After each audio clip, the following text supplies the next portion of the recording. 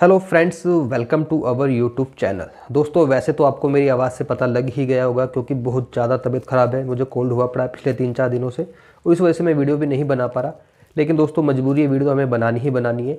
तो बड़ी मुश्किल से इस वीडियो को मैं बना रहा हूँ, ये एक रिक्वेस्टेड वीडियो है। हमारे किसी सब्सक्राइबर्स ने मुझे ये कहा है कि, सर प्लीज़ कोई एक ऐसी पैंट बताओ हमें, जिसमें पूरे में इलास्टिक लगाई जाती है, यानी फुल इलास्टिक वाली पैंट तो आज की वीडियो में आपको कटिंग एंड स्टिचिंग दोनों चीज़ें सीखने को मिलेंगी। फुल इलास्टिक वाली पैंट कैसे बनाई जाती है। और दोस्तों, अगर आप सिलाई का शौक रखते हो, घर बैठ के सिलाई सीखना चाहते हो तो आप हमारा ऑनलाइन स्टिचिंग कोर्स भी ज्वाइन कर सकते हो। स्क्रीन के ऊपर आपको दो नंबर दिखाई दे रहे होंगे। इन नंबर पर कॉल करके पूरे कोर्स की डिटेल्स आप ले सकते हो। तो दोस्तों, अब शुरू करते हैं आज की वीडियो और सीखते हैं कुछ नया।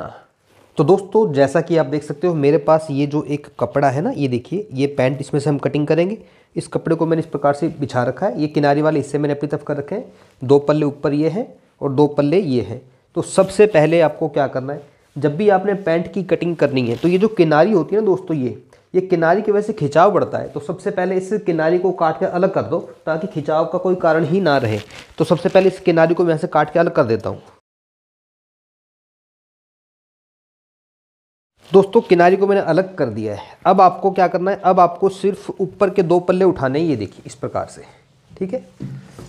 हम पहले आगे के दो पल्ले की कटिंग करेंगे, उसके बाद पीछे वाले पल्ले की कटिंग करेंगे। तो सबसे पहले मैं आपको समझाता हूँ उसका मेज़रमेंट क्या है।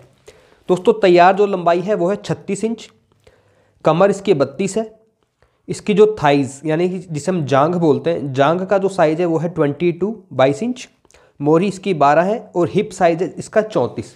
तो सबसे पहले आपको क्या करना है? सबसे पहले दोस्तों, शुरुआत करेंगे हम नीचे से। तो नीचे आपको सबसे पहले एक निशान लगाना इस प्रकार से देखिए। ये देखिए। अब ये जो निशान लगाना है आपको लगभग दो ढाई इंच रखना है नीचे से फोल्ड करने के लिए। अब इस निशान से आपको लगानी है लंबाई।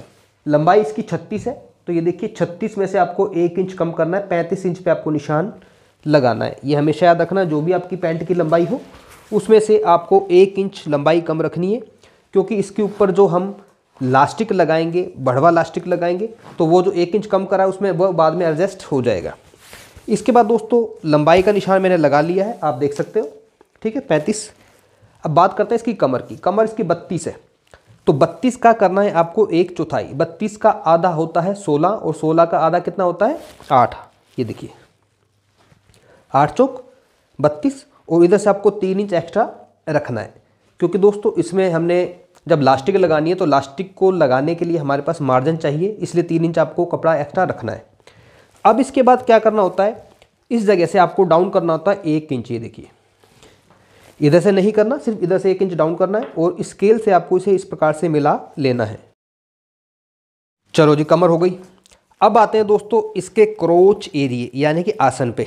आसन निकालने का बिल्कुल सिंपल तरीका क्या होता है? जो भी किसी का हिप साइज़ होता है हिप साइज़ का आपको एक चौथाई करना है और उसमें आपको दो इंच प्लस कर देना है। जैसे कि हिप साइज़ चौंतीस है तो चौंतीस का आधा सत्रह और सत्रह का साढ़े आठ। तो इस जगह से, ये देखिए जो मैंने डाउन निशान लगाया ना यहाँ से, आपको एक इंच ऊपर निकालना है और ये साढ़े आठ पर निशान लगाना है, ठीक है? और दो इंच इसमें प्लस कर देना ये दो इंच मैंने इसमें प्लस कर दिया है। तो इस तरीके से आप क्रोच एरिया निकाल सकते हो किसी भी साइज़ की पैंट का। क्रोच एरिया भी निकल गया। अब आते हैं इसकी थाइज यानी जांग पे। जांग का नाप है दोस्तों 22 तो 22 का आधा कितना होता है? 11 तो 11 इंच पे यहाँ पे आपको निशान लगाना है। ये देखिए। बिल्कुल फिक्स ही नाप रखना है, क्योंकि आगे का जो पल्ला है, बिल्कुल फिक्स कटेगा। पीछे के पल्ले में हम इसको बाद में बढ़ाकर कटिंग करेंगे। तो ये देखिए, यहाँ से ग्यारह दूनी बाईस। अब आते हैं नीचे मोहरी पर। मोहरी का भी सिंपल फार्मूला है। यहाँ से ग्यारह इंच है तो यहाँ से भी आपको ग्यारह इंच पे एक निशान लगाना है। और ग्यारह का आधा कितना होता है? साढ़े पाँच। ये इसका सेंटर है। अब इस सेंटर से इसकी मोहरी निकालनी है। मोहरी है बारह इंच तो तीन इंच इधर और तीन इंच इधर आपको निशान लगाना है। अब आपको उठानी है शेप पट्टी, ये देखिए। शेप पट्टी के बिना दोस्तों पैंट की कटिंग करना पॉसिबल नहीं है। शेप पट्टी होनी बहुत ज़रूरी है। अगर आपके पास शेप पट्टी नहीं है तो पैंट की जो प्रॉपर शेप है नहीं बन पाती। ये देखिए, इस तरह से। तो दोस्तों, ये तो हो गए मार्किंग। अब इसका जो मेन हिस्सा होता है, वो होता है ये। यानी कि जो क्रोच एरिया है, उसमें गोलाई कैसे देनी है? तो यहाँ से जो भी आपकी थाइज़ है, जैसे कि यहाँ से थाइज़ कितनी है? ग्यारह दूनी बाईस, ठीक है? तो यहाँ से आपको अंदर की तरह एक निशान लगाना है दो इंच पर, ठीक है? और ऊपर वाले निशान से आपको मिला लेना है जो हमने ये तीन इंच बढ़ा कर लिया था ना, ये देखिए इस प्रकार से। और यहाँ पर आपको जितनी ज़्यादा गोलाई दोगे, उतना बढ़िया रहेगा। ये देखिए इस प्रकार से फुल गोलाई दे देनी है। तो इस प्रकार से आप देख सकते हो, फ्रंट वाले पार्ट की मैंने मार्किंग कर ली है। अब इसकी मैं करूँगा कटिंग।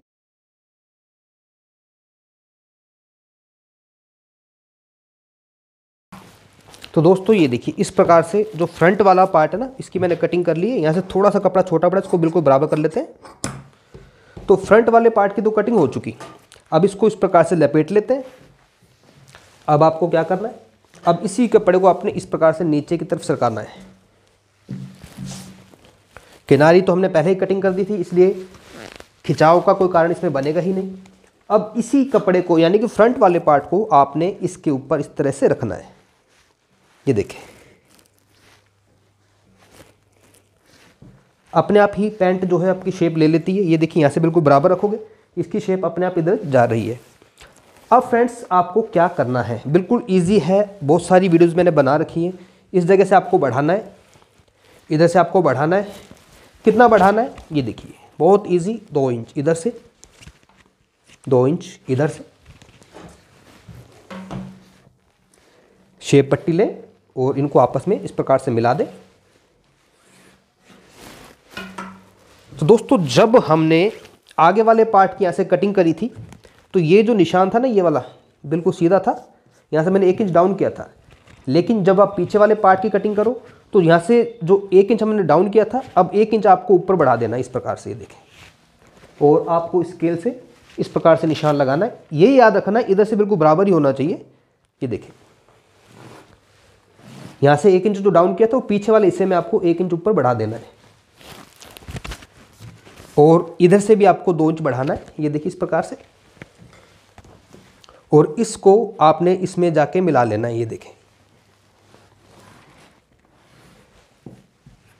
और यहाँ पर आपको इस प्रकार से कर देनी है गोलाई। अब दोस्तों, इसमें जो आपको कन्फ्यूज़न हो रहा होगा, मैं आपको बताता हूँ क्या कन्फ्यूज़न हो रहा होगा आपको। आपको कन्फ्यूज़न ये हो रहा होगा कि कमर है इसकी बत्तीस। तो ये हो गया आठ चौक, बत्तीस, ठीक है? और तीन इंच मैंने आगे बढ़ाया है। लेकिन पीछे वाले हिस्से में हमने ज़्यादा बढ़ाया ये देखिए। तो ये आठ चौक, बत्तीस तो हो गया ये, ठीक है?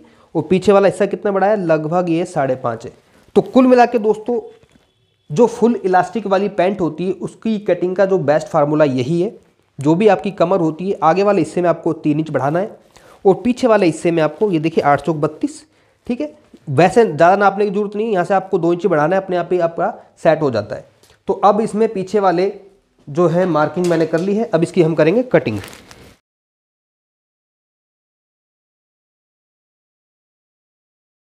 तो दोस्तों, आगे और पीछे वाले पार्ट की कटिंग मैंने कर ली है। अब आपको सिर्फ़ आगे के दो पल्ले उठाने ये देखिए।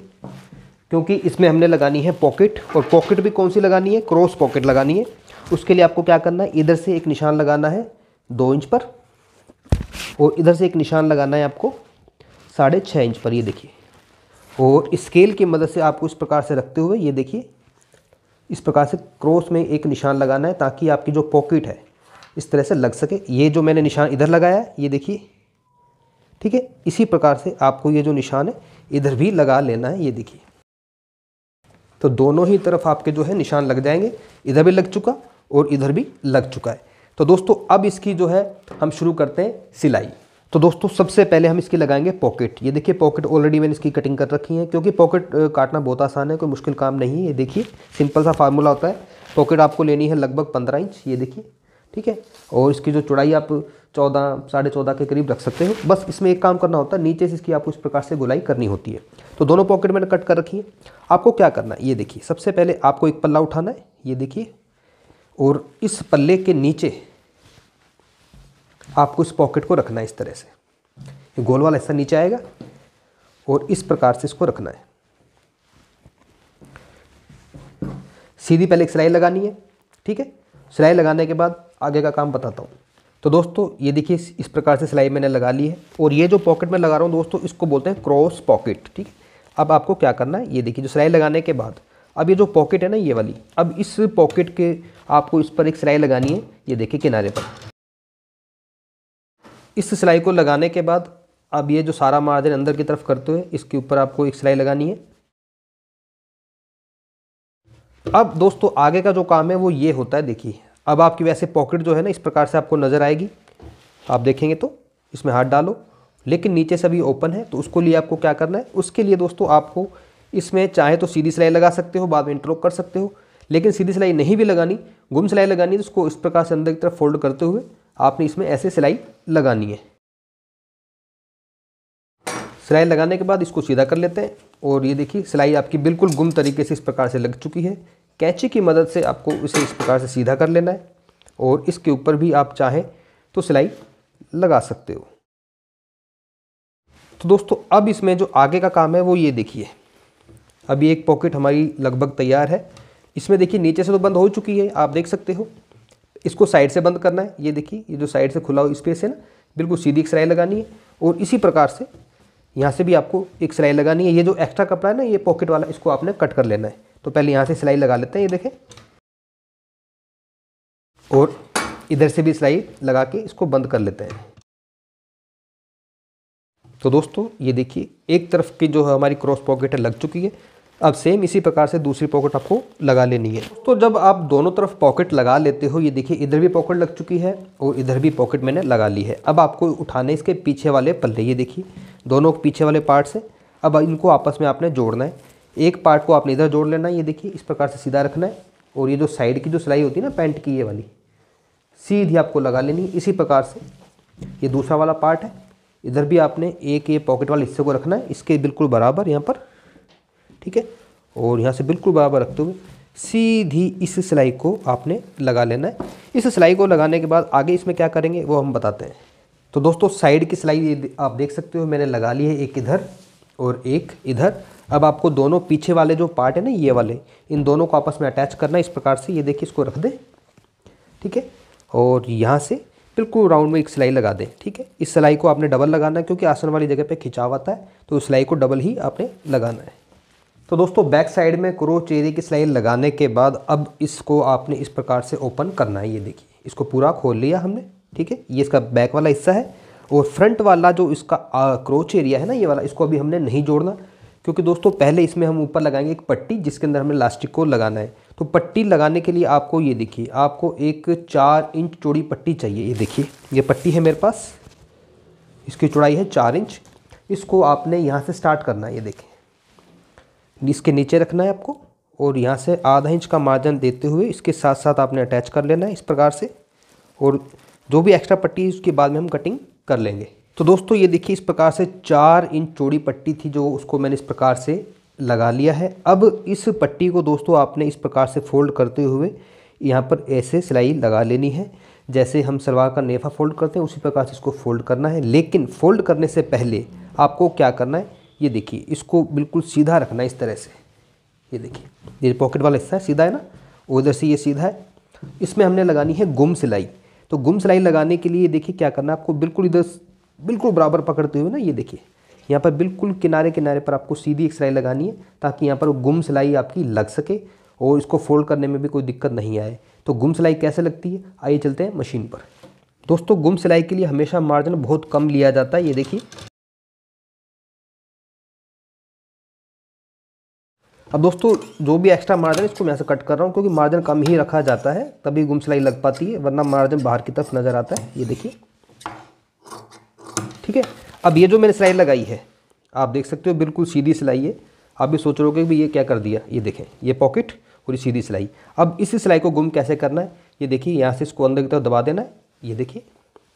कहने का मतलब मेरा यह है कि इसको इस प्रकार से जब आप सिलाई लगाओगे तो आपकी सिलाई लगेगी एकदम गुम। इसको यहाँ से पकड़ा। और आधा इंच का मार्जिन लेते हुए सीधी सिलाई आपको लगा लेनी है।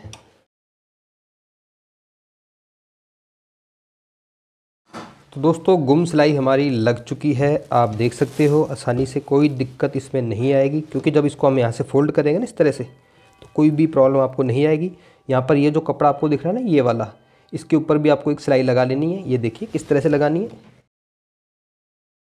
बस, इतनी सी सिलाई लगा दें। तो दोस्तों, अब इसमें लगाते हैं लास्टिक। तो दोस्तों, ये सिलाई लगाने के बाद अब देखिए, इसको आपने इस प्रकार से फोल्ड कर लेना है, इस तरह से, ठीक है? और कहीं से भी सिलाई की स्टार्टिंग आप कर सकते हो, क्योंकि आपको बिल्कुल सलवार के नेफे की तरह इसको फोल्ड करना है। बस आपको दो इंच का या फिर ढाई इंच का बस गैप छोड़ना है, ताकि इसके अंदर हम लास्टिक को पिरो सकें। तो पहले ये सिलाई मैं लगा लेता हूँ, उसके बाद फिर लास्टिक कैसे लगेगी वो मैं आपको बताता हूँ। तो दोस्तों, मैं आशा करता हूँ कि आप ये सिलाई तो कैसे लगाई है, मैंने समझ ही गए होगे। ये देखिए, यहाँ से बस मैंने थोड़ा सा गैप छोड़ा है, क्योंकि लास्टिक को मैं यहाँ पे पिरो सकूँगा। और देखिए, आगे का पल्ला जो होता है ना इसका, ये छोटा होता है और पीछे का पल्ला उठा हुआ होता है, जैसा कि नॉर्मल पैंट में हम बनाते हैं। अगर आप इस तरह से पैंट नहीं बनाओगे, सीधा ही कट के बना दोगे तो उससे क्या प्रॉपर फिटिंग नहीं बैठेगी। अब लास्टिक इसके अंदर कैसे लगानी है? क्योंकि दोस्तों, कमर है इसकी बत्तीस तो ये देखिए जब आप कोई ऐसी पैंट बनाते हो जिसमें पूरे में लास्टिक लगानी हो तो ये देखिए, जैसे बत्तीस कमर है। बत्तीस आ रहा है इस जगह पर, है ना? तो यहाँ पे पहले चौक से निशान लगा लेते हैं। ये बत्तीस है, ठीक है? तो इसमें से आपको चार इंच कम से कम कम करना है। ये देखें ये चार इंच मैंने कम कर दिया। चार भी कर सकते हो, तीन भी कर सकते हो, उससे कुछ ज़्यादा फ़र्क नहीं पड़ता। और इसको यहाँ से कर लेते हैं कट। कट करने के बाद दोस्तों, अब आपको उठानी है एक सेफ्टी पिन ये देखिए, ये सेफ्टी पिन है। इसको आपने इस प्रकार से लगाया और इस छोर से, ये देखिए, आपको डालना है, ठीक है सेफ्टी पिन की मदद से, और इस छोर से ये निकल कर बाहर आ जाएगी। तो दोस्तों, लास्टिक को इस प्रकार से आर पार निकालने के बाद इसको आपस में आपने इस प्रकार से सिलाई लगा लेना है, और उसके बाद ये लास्टिक आपके अंदर चली जाएगी। और ये जो खाली स्पेस है, इसको भी आपने सिलाई लगा लेनी है। ये सारा काम मैं आपको दिखाता हूँ मशीन पर।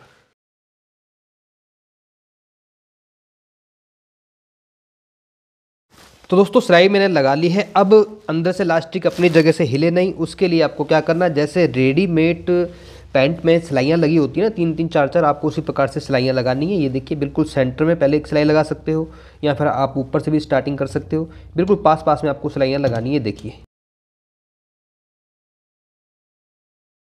तो दोस्तों, लास्टिक तो हमारी लग चुकी है। ये देखिए, बिल्कुल रेडीमेड स्टाइल की तरह इसमें मैंने लास्टिक को लगाया है। अब आपको क्या करना है? अब इसमें लास्ट जो सिलाई रह गई है जिसे हम क्रोचेरी की सिलाई या फिर गिदरी की सिलाई भी बोलते हैं, उस सिलाई को आपने लगाना है। ये देखिए, बहुत ही आसान है।